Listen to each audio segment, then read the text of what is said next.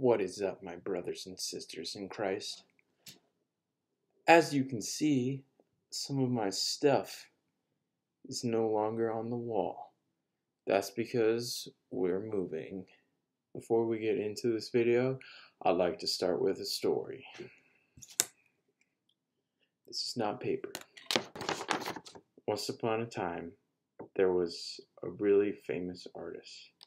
He was the best artist in the land. He made lots of paintings.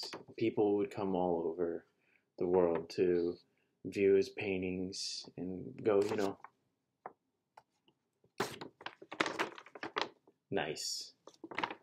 But there was this one painting that the artist made, the most beautiful painting he ever did, he ever created, the most beautiful painting. It was his precious painting.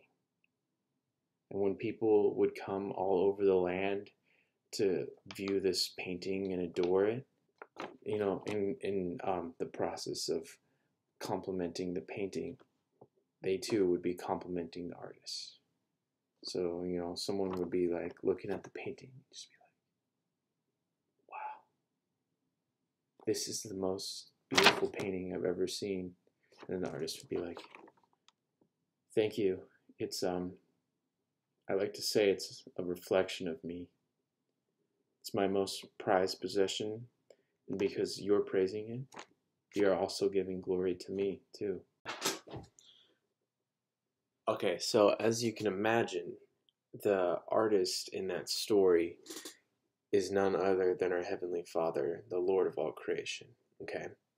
And all the paintings are everybody, all human beings, you, me, we're all beautiful and wonderfully designed in our own way. But then the most precious painting, the most beautiful painting, that is our Mother Mary. Before we get into this, I want you to open your sense of wonder like you're a child again. So imagine God or Jesus is the sun, right? It's this big ball of light that shines forth everywhere. Imagine Mary being the moon, okay? Where does the moon get its light from? It reflects the sun's light. So, in a way, Mary reflects the light of Jesus. So, if you know Mary, you know Jesus. So, in a sense, Mary is the new Eve because Eve is the mother of sin, and Mary is the role reversal of that, and she is the mother of our salvation.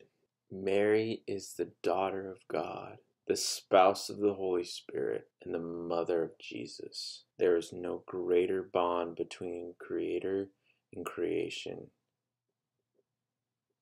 in the whole universe. Sinless Mary is a human being fully alive.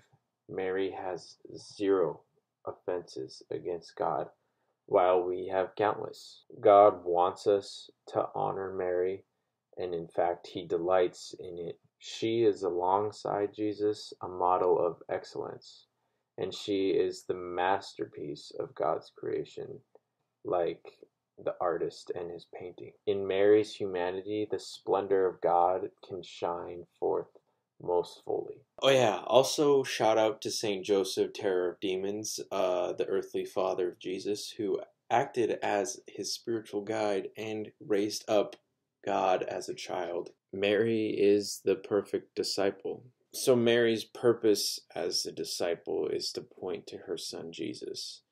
And kind of like with the reflection analogy, that's what she does. All of her light, all of her love, all of that comes from the Lord Jesus. Before we go, we discussed how Mary is the new Eve who will want to bring us back to God instead of ruining our relationship with God. Jesus is the new Adam who restores humanity's relationship with God.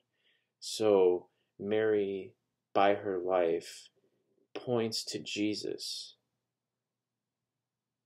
And, you know, the Bible claims that Jesus claims that no one can go to the Father except through Jesus. And if you want to get to know Jesus, the fastest way that I could suggest to you is get to know his mother. Because Mary knew Jesus as a human more than any of us could ever like imagine and fathom. Mary raised God. As the new Eve, she is now the mother of humanity. John 19 26 through 27. When Jesus saw his mother and the disciple there whom he loved, he said to his mother, Woman, behold your son. Then he said to the disciple, Behold your mother. And from that hour the disciple took her into his home. Jesus on the cross gave us the best gift besides salvation that he could have given us, and it was his mother. Now, I hope you all have a fantastic day or evening or whatever time it may be, and I wish you the best of luck. Peace be with you, and God bless.